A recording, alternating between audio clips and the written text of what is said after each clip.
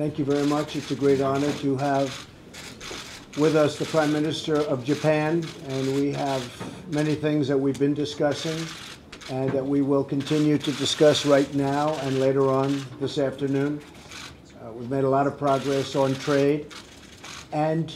other elements. We're also talking, obviously, about North Korea and the problem and menace of North Korea.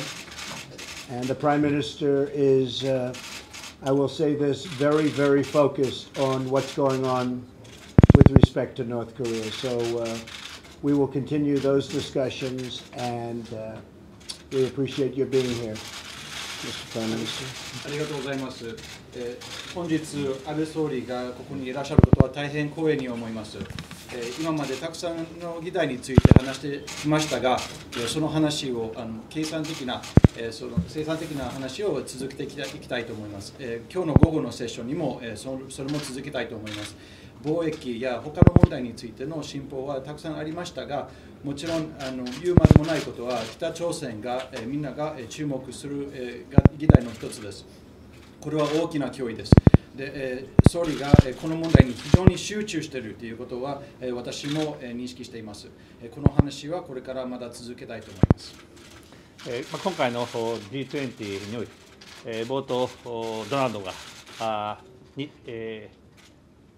日米韓の首脳会談、大有意義な首脳会談を行うことができました。改めて、アレンジに感謝したいと思いますが、そしてこの締めくくりに、ドナルドとこうしてえー日米の首脳会談をおできて、えー、をすることができたことを大変嬉しく思います。